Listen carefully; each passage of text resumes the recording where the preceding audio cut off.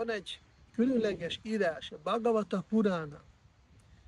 Ott van jóslás, mi fog történni ebbe a korszakban, és akár egész 432 ezer évre előre, abból most 5000 év letelt, és a könyv szerint most még eléggé mennyei körülmények között élünk, lesz, lesz az még egy kicsikét borzalmasabb, de miért így van? Azért, mert ez a világ terv szerint mindig degradál.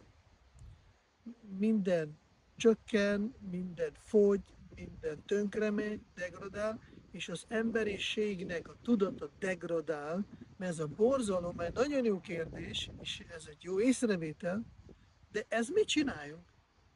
Nem a fák csinálnák az embereknek a borzalmát, vagy a kukacok, ami a földbe laknak, vagy a csigák, hanem ez mi magunk teremtük magunkat, ezt a borzalmas körülményt és a társaságot.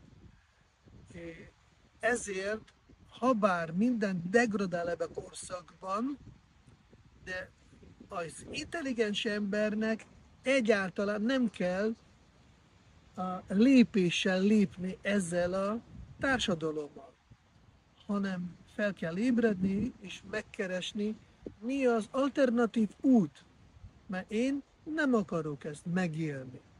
És ez a lelki út. Bhakti Yoga egy ilyen útot ajánlja nektek, ki lehet próbálni, és fogtok látni, hogy ha, ha bár nagyon borzalmas van körülöttünk, minket nem érint, belül nem érint. Ez a lényeg, szóval van, borzalmas lesz, de mi mit választunk, rajta fog múlni.